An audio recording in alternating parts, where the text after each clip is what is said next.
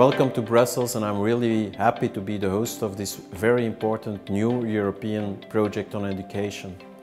When we ask our children what they want to, become in the future, they answer the same things as we answered in the past. They want to become firemen, they want to become football player, ballet dancer or teacher. They never answer, I want to become an entrepreneur. And we need entrepreneurs in Europe. But what isn't known can't be dreamed of.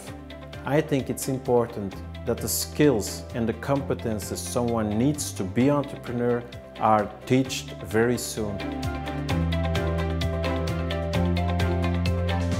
Our Flemish young enterprises do marvelous job in this field. They reach already 12.5% of all youngsters with their mini companies. But what we do good, we can do better in the future. And we want to reach at least 50% of our youngsters.